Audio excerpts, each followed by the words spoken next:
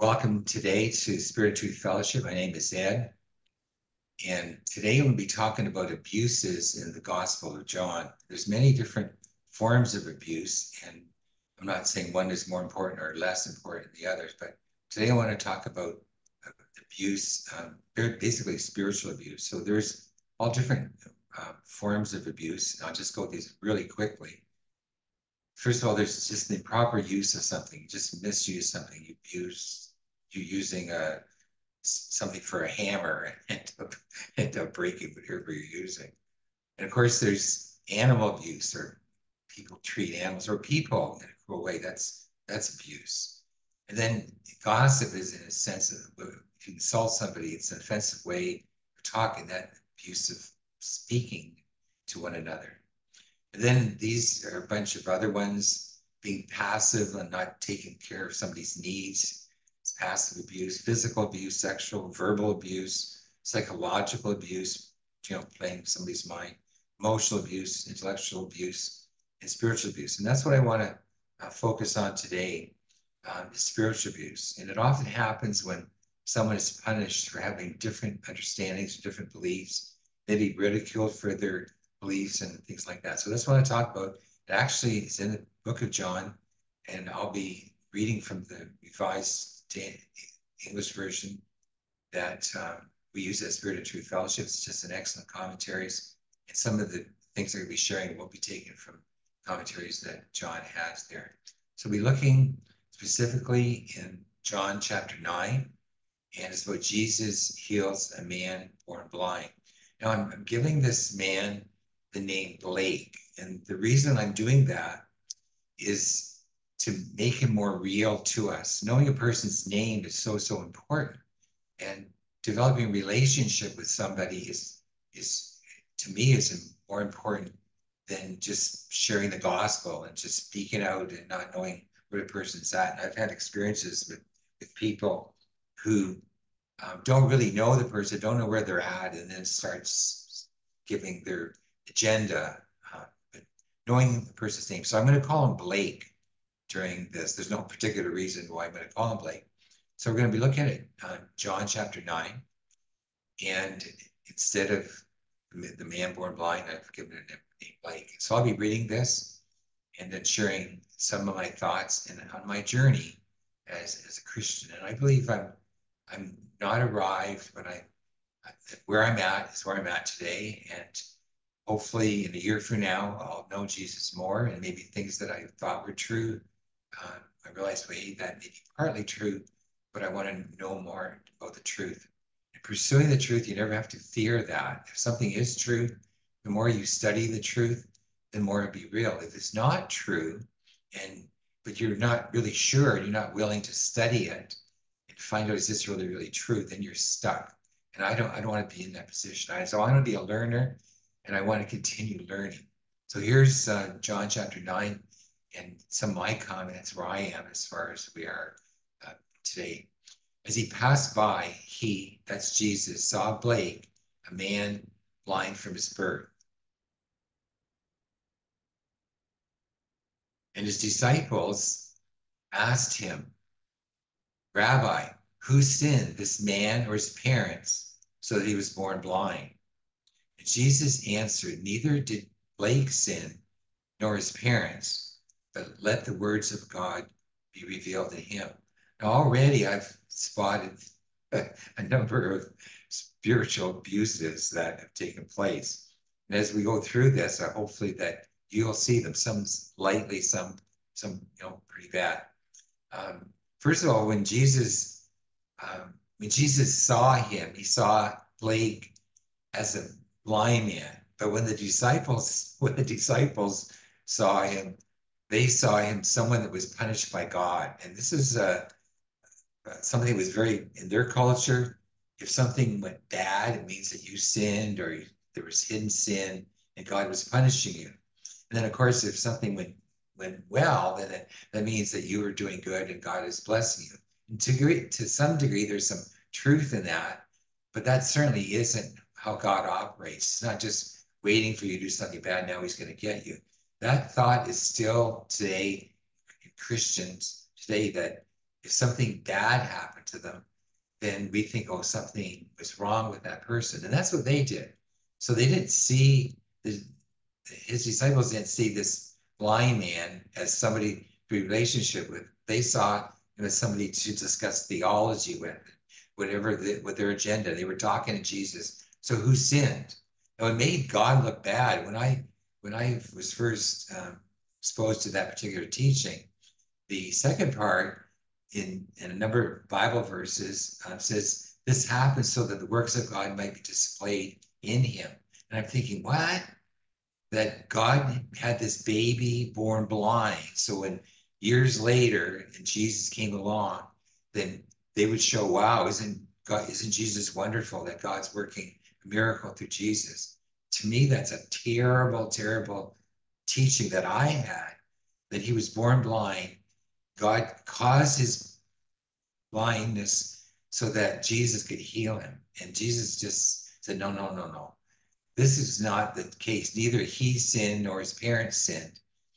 But he said, Let the works of God be revealed in him. So Jesus saw Jesus saw this man as someone to be concerned about for his blindness. But the disciples saw him as someone to to talk about a spiritual debate about this, but not as a person that God loves. And that's something that that I want to do is see people as God loves them. Now there are beggars all over the place. And my first inclination is like, okay, why did you get yourself in this position? And it, you know, maybe because you, you misused alcohol or drugs or whatever, and not to have pity for him. But this person, that was true, that was true, and they're still hungry. They still need a place to live. They need a place to eat food. So my attitude uh, needs to be softened and, and see the person as a real person, as someone that God loves. And in a sense, it's a, a way to bless them. Uh, is what I'm going to be trying to do right now. So Jesus said, we must do the works of him who sent me while it is day. Night is coming when no one will be able to work. You know, a lot of translations, the King James, the Douay-Rheims, and a bunch of translations, they don't use the word we. They they mistranslate it. And to me, that's abuse when you, when the, the text, the Greek, the is I must do the works of him is not in there. It's we must do the works of him. And it, it almost so that Jesus can do this, but we can't. And uh, and Jesus says, as long as I'm in the world, I'm the light of the world. Matthew 5 and 14 to 26, it also says, Jesus says this, you are the light of the world. And it says, let your light shine before men that they might see what? Your good works, and then bring honor and glory to the Father. So Jesus, he was sent by God, and then he sends us to do the, the works of God. So Jesus certainly is the light of the world. He came into darkness and he brought light. But then we are also light of the world. And and so the light, the light that's in us shine. And that's that's just a wonderful way of, of looking at life. So when he said this, he spat on the ground, made mud out of the spittle, and put the mud on Blake's eyes. Now the scriptures, the scriptures don't tell us what all that what's going on but first of all, I just want to give you a background. It was the Sabbath, and he just he just left the temple. We'll read that in a few minutes. And what he did, he did something that was really, really unusual. And I'm sure he he talked to Blake and said, Blake, this is Jesus. Um, and I'm just making this up, but I think it's quite possible that God told me that you can be healed of your blindness. But I have to do something that's really, really weird. Can I do it? He says, What? He says, I'm, I'm going to make some mud and I'm going to work it together. Then I'm going to put it on your eyes and then I'm going to ask you to, to walk and then wash it off. Can I do that? and uh, of course, he did. And he and then here's here's Blake. Jesus is doing all this work. He's making the mud, and then he's he's going to put it on on his eyes. Now the blind man is walking with mud dripping from his face, walking through the, the streets, going to the pool of Siloam. and how embarrassing that is. People might have laughed at him and whatever he has to do. But this is what God told Jesus. Now, there isn't any other times before or after that where this is what this is the formula for somebody's blind. You spit on the ground, make some mud, work work the mud, and then you put it on the guy's eyes, and then you tell him go watch, and he'll be healed. One time we had a, group at our home, it was a home group, and there was a gentleman that was there, and he had a hard, hard time hearing. And so we were praying about it, about it's that wasn't he wanted prayer because he couldn't hear well. And I got this really strange thought that if he wanted to be well, to blow in his ear. No, there's, there's no scripture that says somebody can't hear, they just blow in your ear. So I, I was just a little nervous about that. And so I said to the person that was with me, because we were playing, praying together, I said, I got this real strange thought about praying for him. And I thought the Spirit of God was saying, blow in his ear. And he said, oh, I had the same, very same thought. I thought the same thing. So then we said to the gentleman, I said, look, this is really strange, but this is what we feel God said. If you, you want your hearing uh, to improve and get better, then God is telling us to blow in yours. Can we do that? What do you think he said? He said, yes. So he was on one side and I was on the other side. We both blew into his ears and his healing began. He was able to hear, and I was perfectly amazed. Now, I've never, never prayed for anybody again, uh, like blowing in the ears. It wasn't now a formula for people that are deaf or going deaf, but God did that, and He did it with Jesus, and He did it with me, and I was so blessed. And so then there, there's this said, go wash in the pool of Siloam. And what does Blake do? He does it. So we went back and washed and he came back seeing. And so here there was something that two things that Jesus asked him to do. One, can I put this mud on your on your eyes? And two, go go and wash. So there, there was some degree of faith that he had that Jesus said to do this, and he would, he would allow Jesus to do it. And then he walked through the streets to the pool of Siloam. So there was some degree on, on, on his part of faith that he was to do that. And often we, see that there's some test, if we will, of what God's asking us to do. And we're willing to do that in our prayer. We're asking the person that's receiving prayer to do something. So that's what he did. He went, he went, washed, and, came back seeing. Now, could you imagine um, what happened to him the first time he's an, he's a man, he's an adult or a young adult, and he's seeing he's seeing voices that he heard before now he sees who they are. He's so excited and I probably jumping up and down. I can see, I can see. And he's just so excited. And of course, this this would be spreading really fast, really fast. And then verse 8 says, Therefore the neighbors and those that had seen Blake before and, and that he was a beggar were saying, Isn't this Blake who sat and begged? And you know, his face of expression was different. He was full of joy. It was just so wonderful that God worked through Jesus and gave him his sight. What happens next? Others were saying, it is Blake. While others were saying, no, but he's like Blake. But Blake kept saying, I am he, I am he. I'm he, it's me, I'm Blake, I'm he, I'm he. By the way, which is ego eimi, and nobody thought he was referring to the Exodus that he was now claiming to be God, but he was saying the same thing that Jesus said later on in John, but that's just a side issue. But he kept saying, I am he, I am he.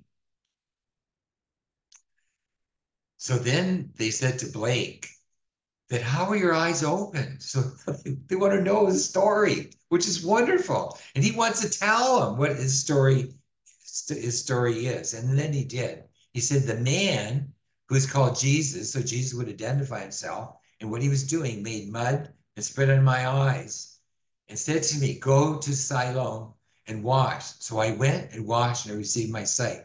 Now, Jesus did a couple of things um, that he probably shouldn't have done according to the Jewish culture and customs and the religion at the time, that he did some work on the Sabbath. And part of that work was kneading the, the mud and mixing it up together. You weren't supposed to do that. And so this was very unusual. And also to put mud on somebody's eyes, that was really, really unusual. Because this is that what God does? This has never happened before, but he did it. And they said to Blake, Well, where is he? Well, Blake wouldn't know. Jesus didn't say, Come back and see me or whatever. He didn't know. And that's what he said. I don't know what he did. Then he, when he kept saying, I am he, in back when we just read in John 9 and 9. And this is this is what happens if you we're an abusive system, or we, we were maybe not even knowing it. We don't want to really really listen to the truth. So here he's saying, I'm I'm I am him, I am him. Can't be, can't be. And they're thinking on the Sabbath, this whoever this guy was, he was doing he was breaking the Sabbath by making mud, and he, this guy has to be a sinner. This I don't understand this. They don't, so they won't listen to the truth.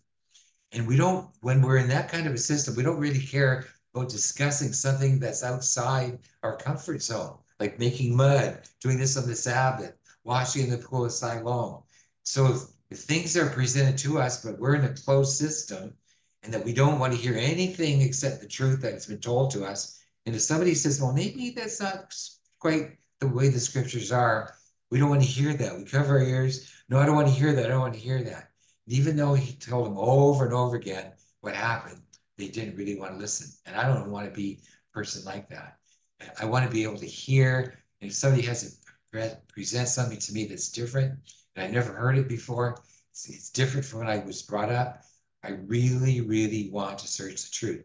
The Bereans did that. They listened eagerly to what Paul said, not suspiciously or not trying to find fault. They listened eagerly. And that's the kind of Christian I want to be one who listens to the truth, listens to what is being spoken. And then what do I do? I search the scriptures to see if what, what like Paul said is true. I search the scriptures and really study it. This is this is a new concept. Now, if you don't do that, that's that's where you're at. But you may be stuck in teaching that isn't necessarily true. And I really want to follow the truth like what Jesus is. So I've been trained, we've been trained to avoid any controversial thoughts and to let the leaders handle issues and problem people. So even if if you get a thought and you think, well, that's really different, than what what often I have people say this, they, they especially one thing I said something, and these people, all people disagreeing. And one person said, "But what if Ed is right?" And instead of saying, "Well, let's search this out. Let let's Ed share it with tell us why he thinks the way he did." Oh, that was probably from the devil. Why do I even think that? And that's what we tend to do, or some people tend to do, is to avoid any these thoughts that we have that go against what we've been taught for years and years and years and not merely explore the truth. And we might even credit that not to the Spirit of God trying to teach us truth, but to the devil who's trying to keep us from knowing the truth.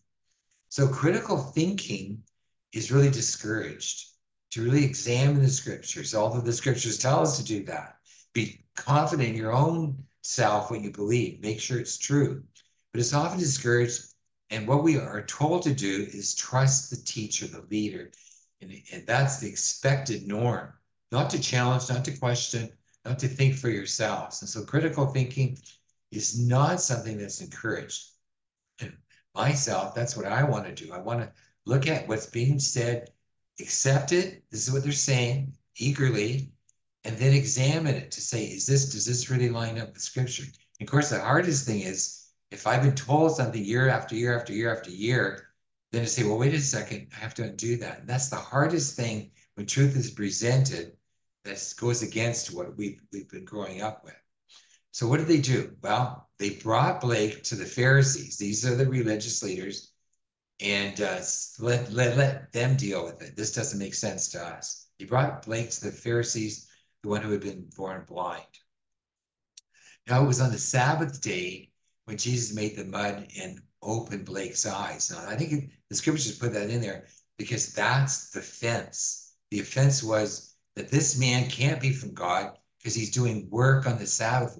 The things that we said you couldn't do on the Sabbath. Remember, Jesus said the Sabbath was made for man. And the religious leaders had all kinds of add ons and rules about Sabbath keeping that Jesus did not did not make, or you know, the, the Father did not um, inspire. And Jesus realized, no, it's better to do good or evil on the Sabbath. And of course, it's too too good, too good. But do you know what they said? We're going to kill this guy. They plot to kill him when he healed them the Sabbath. So the Pharisees also were asking Blake how he received his sight. And Blake said to them, he told them a story, put mud on my eyes, I wash and I see. And so some of the Pharisees said, This man is not from God because he does not keep the Sabbath.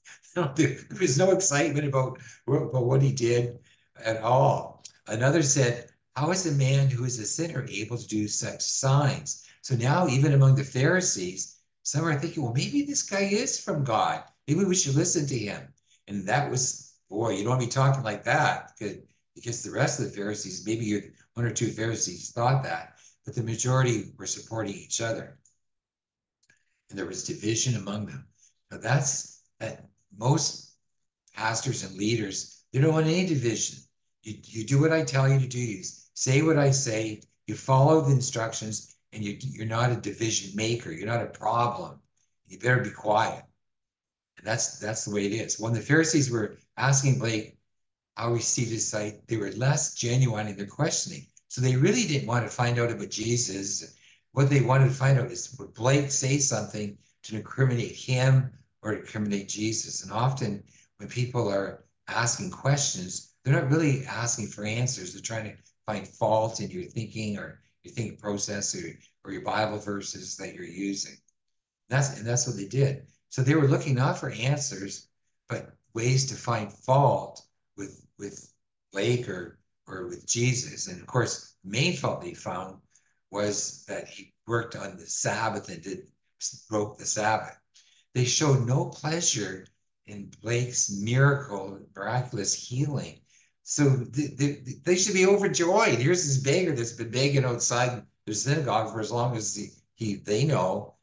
There was no joy. There was no wow, something really happened. They just discredited him and discredited Jesus. To me, it seems spiritual authority often dismiss, dis, diminish this empathy, compassion, care for those under person's control. So they, they don't see people as people. They see people as a problem because they're getting they're interfering with with the, the way we've got this. Everything's under control. Everybody's doing what they're supposed to be doing and saying what they're supposed to say and believing what they're supposed to believe. But if somebody doesn't, and they challenge our authority, challenge our teaching, then they're hard on that person. And if they feel attacked or we feel attacked, when somebody starts a conversation with us, we become defensive. Now, often this defensiveness, it easily flows to attacking and being abusive to the person that's sharing something new, something that's outside our box. So they said again to Blake, What do you say about him? since he has opened your eyes. And Blake said he's a prophet. Now, why did he say that? Because in the Old Testament, human beings were empowered by God and they were prophets. Either they spoke what God was saying or they did things like God did. Like as Moses was a prophet and he's, he wasn't God because he did all the various miracles, crossing the, the sea was not because something he did on his own. And that's what Jesus said. On my own, I can do nothing. I do what the Father tells me to do. I say what the Father speaks. So it would be normal for Blake to say, hey, God's working through this man, Jesus. Now, the Jews did not believe that Blake had been blind and he received his sight. They didn't, now this can't be true. This is, can't be Blake. Maybe the guy was faking it all along. He just found a way of making money. And that might be a possibility, but it went against all their thinking, what they thought. And so they went to call his parents. Now, his, of course, Blake is all excited. He's at home. Mom, it's me. It's Blake. I can see. I, I've never seen you. Look at you. Look at you. And the the all the guilt that they may have felt and the teachings and the culture that that he, the father or the mother, they did something wrong because God punished them for having a baby that wasn't able to see. And they were overjoyed. They were just wonderful. Wow, God did this through, through Jesus. And and he would say, This man, Jesus, this is what he did, put mud in my eyes. Well, it was absolutely wonderful, mom. Dad, I can see you. I love you. I love you. I love God. I love what he's doing through Jesus. And that's how they did. Now they're asking, now they're asking him, is this your son who you say was born blind? So now they're trying to incriminate them. Maybe this they was a way of making money off their son. Pretend you're blind, son, and you get money, bring it to us. Just horrible, horrible abuse of them and their integrity all these years that they were using their son. Now that could have been a possibility. Some people maybe actually do that. But this just shows that their heart, when truth was presented, when God's doing something, um, they were not willing to accept it. Their eyes are blind, their ears are not hearing, which was really, really sad. So then they said, So how did he see? Now you would think they would tell them, This man, Jesus, came up to him. He knew Blake before and said, Blake, you don't need to be to be blind. God wants to heal you today and to put mud on your eyes. And I, I'll do it if you let me. I know it's a Sabbath, but if you do this today, wash the pool some, you're going to be able to see. And his parents answered, We know Blake is our son, and Blake was born blind. And what do they do next? Well, they're not going to tell the truth. For most authority leaders, doing real research, truly listening to an opposite or different perspective is not just an option. They weren't there to hear about Jesus. They were there to find, find fault. So no matter what is said, no matter what evidence or is presented from a different understanding, it's just not accepted. Their ears are hearing, their eyes are not seeing, they're not willing to see the truth. And we become blind to truth because our, our presuppositions we want to hold on to that rather than be open to what God is doing in us and through us. So abusive systems, if you're in one, they really shun open discussions or formats to evaluate biblical evidence, especially to those that may in any way be contrary to their existing statement of faith. And that's what I found out in some relationships. So in verse 21, it says, And how does he now see? We do not know.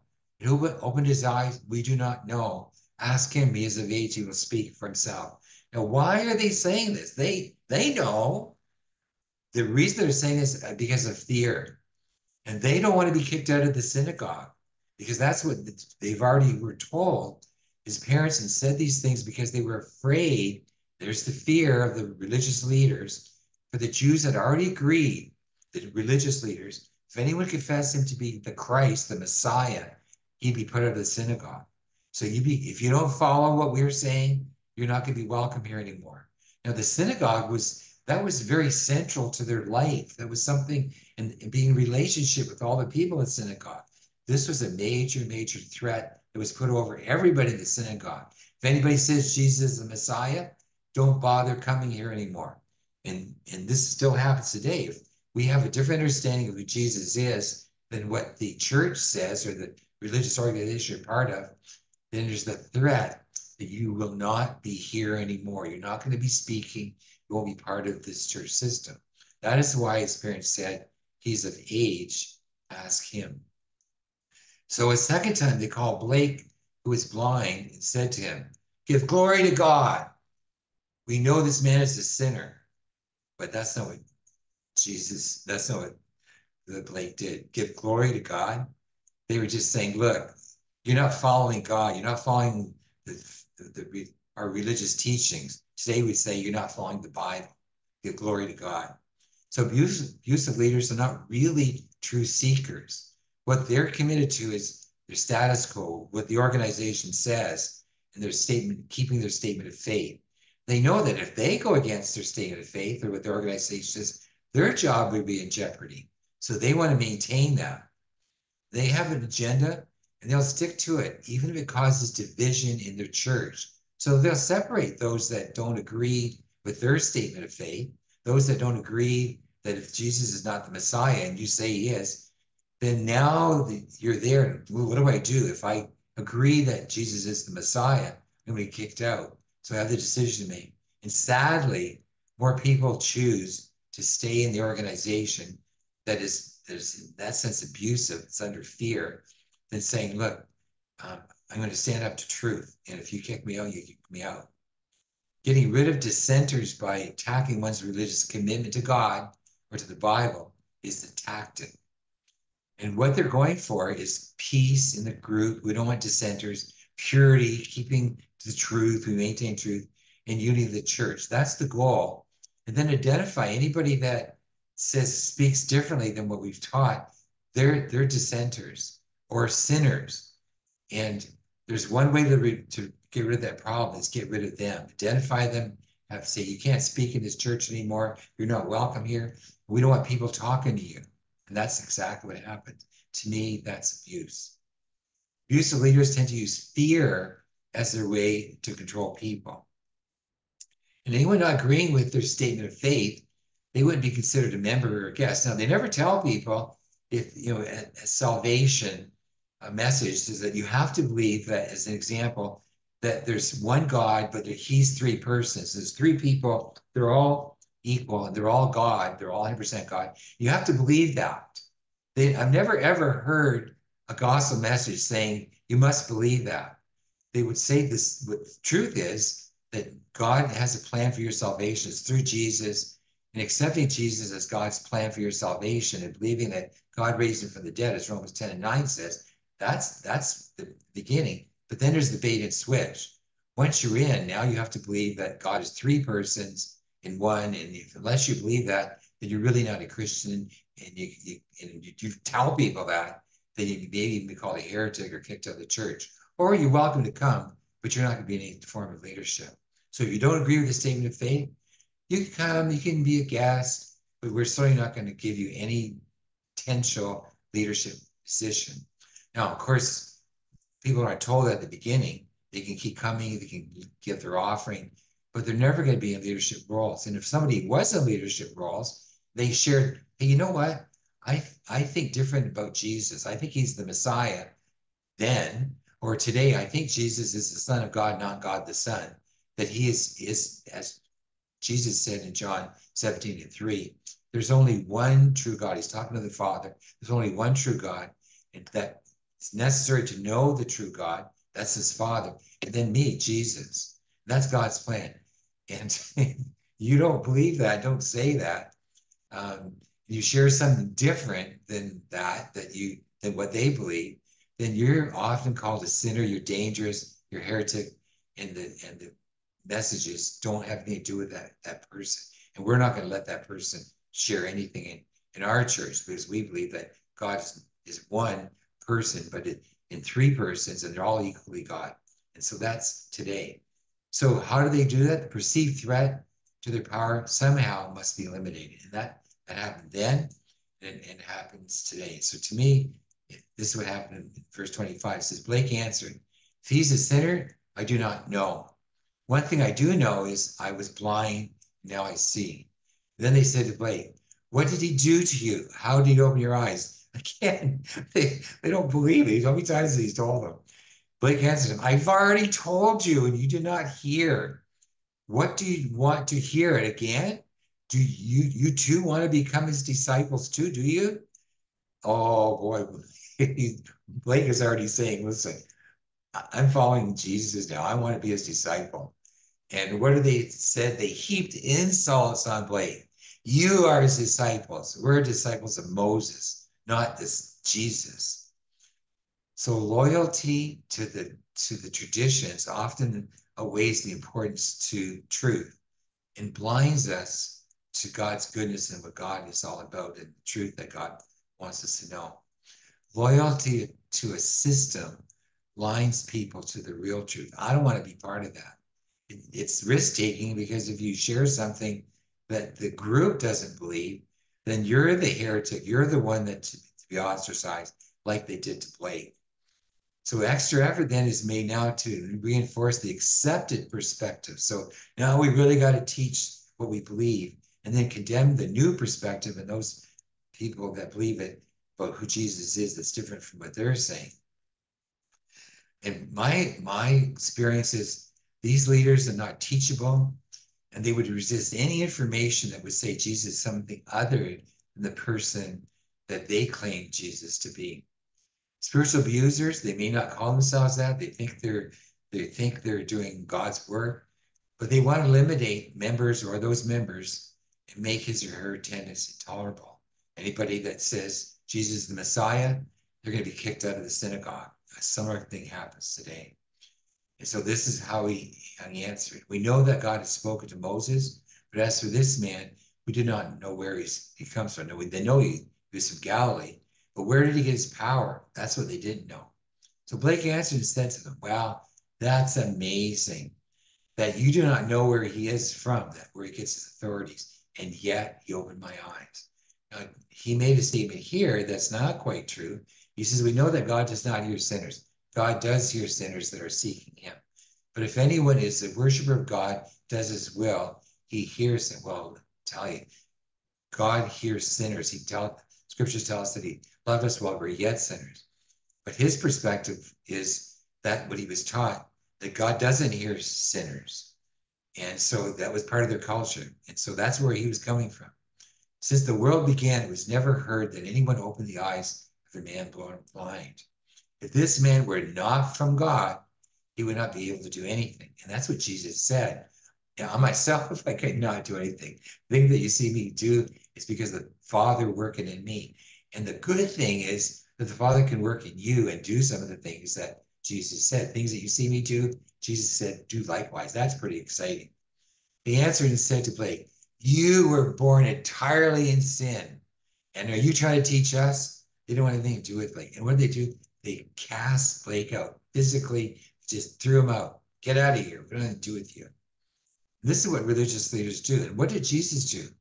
Well, rumor went around really fast that Blake was healed and people was a talk that wow, he's everybody's seeing him, everybody knows what's happening. They knew Jesus was the, was said to be the Messiah, that he believes Jesus the Messiah. And, and, and Jesus heard this and, and they cast back out, and Jesus sought after him finding him to work on Jesus' part. then he said, Do you believe in the Son of God, Son of Man, rather? And that's that's do you believe in the Messiah, who he said he was? And Blake said, and who is he, Lord? Meaning, sir, remember, Jake, Blake thought he was a man. Blake thought he was a prophet. Didn't think he was God or anything, but he was, this was a symbol of, you say something, think, who is he, sir? Tell me so I can believe in him. And Jesus said to Blake, you have both seen him and it is he who is speaking to you. Wow, what, what exciting news for Blake. You're the Messiah. You're the one that did this and God's working through you. And Blake said, Lord, I believe. Now, this time when he's saying, Lord, he's saying, I, you're my Messiah. You're, you're, you're the, the one that, that we're all waiting for. You're the one that we're seeking. And I believe. And then, then what did he do? He bowed down before him, not as God, but as, as an agent of God, as one who has authority. This was this was showing respect to him. And Blake was so, so happy to meet the one that God worked through. And they cast Blake out. Yeah. When verbal abuse fails and control must be maintained, abusive leaders sometimes use physical violence to remove people from the presence, which is really, really sad. And then this is what Jesus said For judgment I came into this world that those who do not see will see, and those who, are, who see that really don't will become blind. Now, I want to be the one who wants to see. And whatever blindness that's before me, I want to have that removed. And I want to see truth. And I want to be a, a truth seeker and keep learning about who Jesus is, who the Father is, and how he's how I am the light of the world that Jesus said I can bring light into darkness in a way that's accepted, not abusive or controlling or bringing my agenda to the to the story. Those are the Pharisees who heard who heard or with him heard these things and said, "We are not blind too, are we?" No, I don't really think they're they're asking. They're just saying, "What are you accusing us about this?" Jesus said to them, "If you were blind, you would have no sin. But now, since you you say we see, your sins remain." So these are the ones that are saying we know everything, but Jesus saying no. So these are my take homes from this teaching, and I I hope they have they resonate with you. First of all, I really want to see individuals as people who God loves and wants us to be a blessing to everyone. So it doesn't matter if I, you have to, they're not, I, people today are not, are not on my agenda. I have to make sure this person says the sinner's prayer. before I leave. That's not my agenda. At one time, I was in evangelical group that this you're always looking for bringing salvation. Of course, you want people to come to know Jesus, but I want to meet people where they're at, get to know them, love them, and there's a, there's phrasing they'll if they know you first, they'll then you'll they'll love your God after that. So that's what I want to do. Second takeaway is I really want to avoid maligning God or Jesus um, or other people. I, I don't want to do that. I want to I do want to say things about God or Jesus or other people, and that's not an easy thing to do. But that's one of my goals from seeing, reading John nine, and I want to see other. I want to see people like God sees people, and He values them. For God so loved the world. Do I love the world, or just those that will agree with me? Do I see people as sinners and they're getting what they deserve, or do I see people as sinners who God loves and wants to bring them and free them from their blindness and, and come to a knowledge of truth. And I want to develop relationships first over defending my personal theology. And so relationships to me in the last few years, developing relationships is, is more and more important. And then the scripture said, Peter, if somebody asks you for the hope that you have, be willing to give it. And that, that's the best place when people come and ask you about why you think what you did. And I've had opportunities for that very thing to happen. And finally, I want to be a consistent learner and try to be open to new perspectives. And I want to learn and learn and learn. And where am I at my journey today? I, I want to be further in love with Jesus and find more about who God is and how he wants to use me for my kingdom. So I'd like to pray this for you in closing. Um, and for me, so, Father, I just thank you for every opportunity that we have to be lovers of men, lovers of God, and to love people that you want us to love. Jesus, you said all the commandments, all the laws are summed up in this one way love one another. And that's what I want to be. And that's my prayer for you and for me that we will be lovers of people and in practical ways show love to people, show kindness and the mercy and the gentleness of God and not be judgmental, not being someone that might be a barrier or a block uh, to finding out the truth.